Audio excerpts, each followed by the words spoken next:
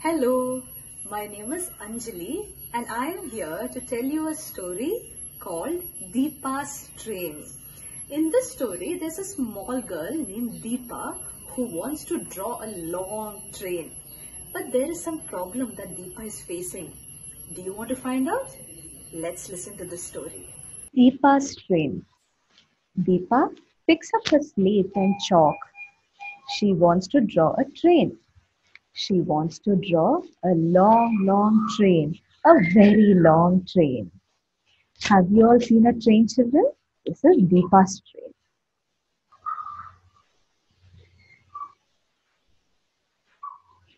First, she draws an engine for her long, long train. Oh no, she says, there is no place for me to draw the rest of the train. Deepa was worried. Can you see this is Deepa's engine of the train?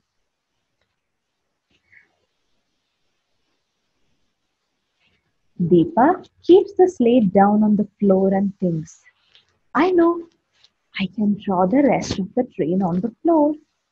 She draws and she draws a long, long train till her chalk was all over. Can you all see Deepa's long train? Deepa stands up and says, Wow, my train is as long as the hall. And off go Deepa and her train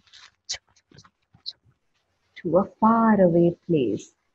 Did you all enjoy the story? Thank you.